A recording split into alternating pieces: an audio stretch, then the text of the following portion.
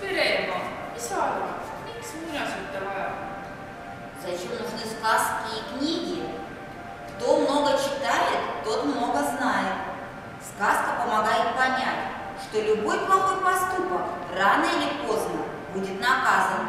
Так было и в сказке Югана Гунтера «Петр Большой и Петр Маленький».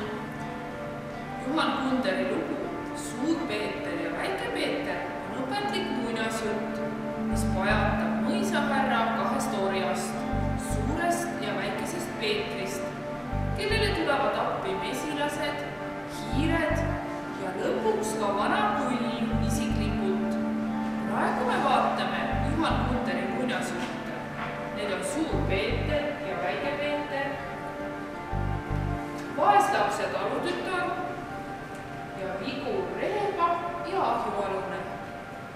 В сказках Югана Гунтера ценится добро и мужество.